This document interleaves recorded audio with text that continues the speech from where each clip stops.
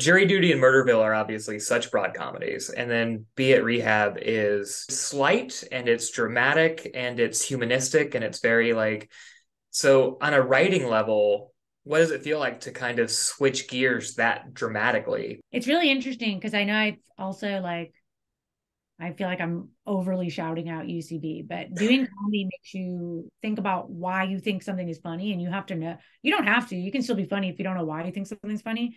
But all of my comedy is from such a dark place. I think mm. the darkest things are funny. And like, I'm funny.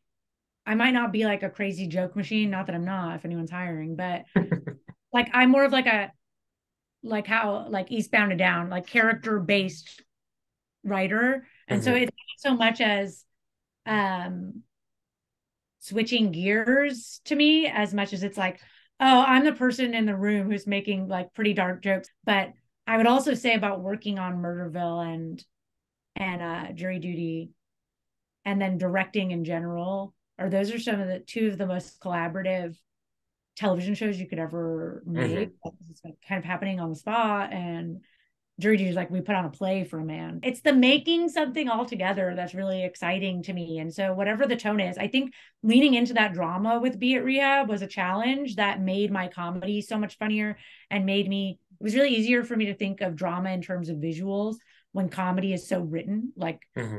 my dialogue in general has gotten better in my comedy from just trying to write something real that's not mm-hmm. jokey, you know. Mm-hmm which I know that you're, right. you know, when you're writing a feature, you can't just be jokey. So I remember when I was working uh, on the Riggle show and stuff, and and talking to my friend Tim, who was show running one of the shows I talked about, and he was like, the dialogue is like a little jokey, and I would be like, what do you fucking mean? Like it's not. You know? This is a comedy. What are you talking about? It's supposed to be right. Yeah. So trying to do something more dramatic taught me how to be more funny in a more real way, which yes. are things I find funny.